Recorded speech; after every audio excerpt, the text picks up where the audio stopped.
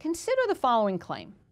Schlotzsky's is a Mexican restaurant, or El Mercado is a Mexican restaurant, or McDonald's is a Mexican restaurant, or Torchy's is a Mexican restaurant, or Oasis is, or Taco Shack is, or Mighty Bird is, or Cooper's is, and so forth. We could make the claim that somewhere there is a Mexican restaurant by writing a very long disjunction, such as this. This claim is true only in case at least one of the disjuncts is true. In other words, exactly in case there is a Mexican restaurant. Quantified logic gives us a better way to say this. There exists a Mexican restaurant. Now consider another claim. Miss Priss is a mammal, and Jerry is a mammal, and Lucy is a mammal, and so is Agnes, and so is Gretel, and so is Bertie, and Tommy and Katie and Lily and Mickey and Hansel and Choco and Lola and Gabe and Dizzy and Getz and Heidi and so forth.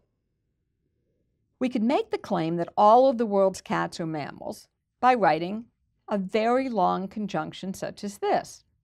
This claim is true only in case all of the conjuncts are true.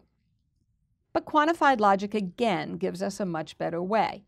We can write for all x, if x is a cat, then x is a mammal. The quantified expressions that we've just written are better than the large disjunction and conjunction in several important ways. First, and most obviously, they're a lot more concise.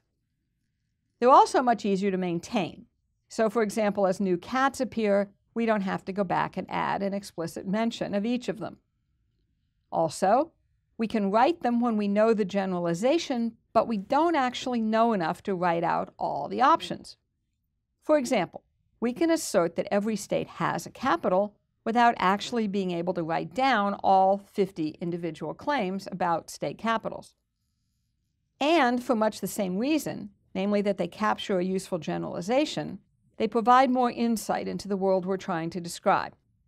Consider the claim that all cats are mammals. Well, that's part of a larger set of claims about the animal kingdom. By definition of the categories, it isn't possible to be a cat and not be a mammal. Of course, there's a finite number of cats and of restaurants. So, in those cases, at least it's possible to make our claim without the quantifiers. But what about claims, say, about the natural numbers? For example, we can say that every natural number has a successor, or, read exactly, for every x, there exists a y such that y is the successor of x. But now, because there isn't a finite number of natural numbers, we'd never finish if we tried to write our claim as a big conjunction.